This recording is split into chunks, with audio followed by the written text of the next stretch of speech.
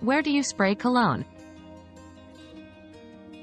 To maximize the effect of cologne, spray it on pulse points where the warmth of your body helps to diffuse the fragrance. Common spots include the wrists, neck, and behind the ears. For a more enduring effect, some also apply it to their chest or biceps. However, spray sparingly, a little goes a long way. Avoid rubbing the fragrance into your skin, as this can break down the scent, making it fade faster.